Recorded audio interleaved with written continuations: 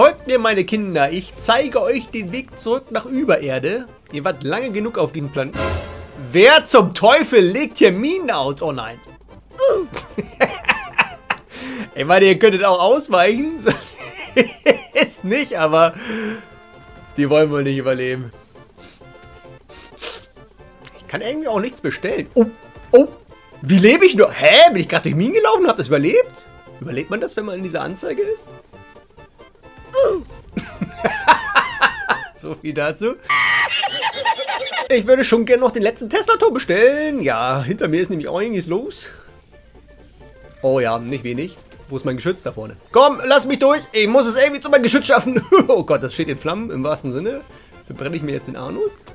Wir probieren es aus. Oh nein! Schlepp doch den Tesla-Turm nicht hierher! Ah! Ich lebe? Wie lebe ich? Okay, ich nehme es.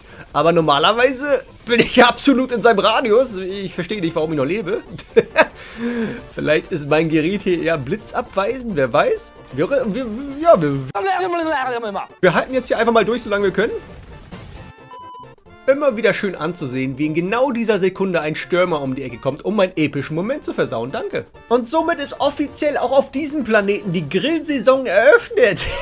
oh, er hat sogar auch noch einen zweiten dabei. Perfekt. Welcome to hell, motherfuckers.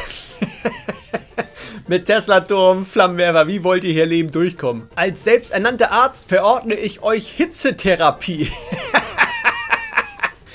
Brennt! Ich brauche jetzt aber mal meinen Geschützturm. Ja, da ist es. Denn was ist besser als Hitze? Heißes Blei. oh, guck mal hier rechts. Was ist mit ihm? Er guckt mir einfach zu, wie ich seine Kollegen abschätze. Ich glaube, er will was lernen. er guckt einfach zu, wie das Ding hier funktioniert, ne? Ist das interessant für dich? Wow! Na, dann musst du auch sterben. That escalated quickly. Nein, nein, nein und nochmals nein. Nochmal falle ich nicht auf euch rein. Zwei von deiner Sorte haben mich schon betrogen.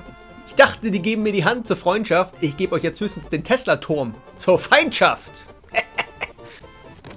oh, wieder lebt noch. Oh, okay, hat's doch gemacht.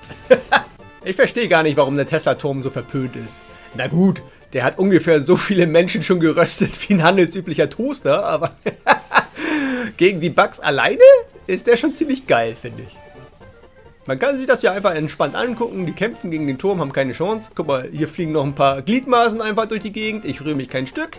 Und dann wirst du sogar noch ignoriert. Der Typ hinter mir kämpft um sein Leben und die ignorieren mich einfach geil. Oh, da liegt es ein Pirscher.